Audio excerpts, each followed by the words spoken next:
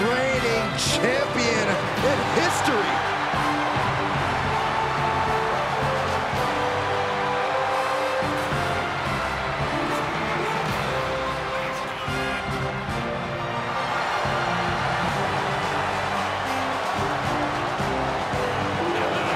The living legend has arrived at the showcase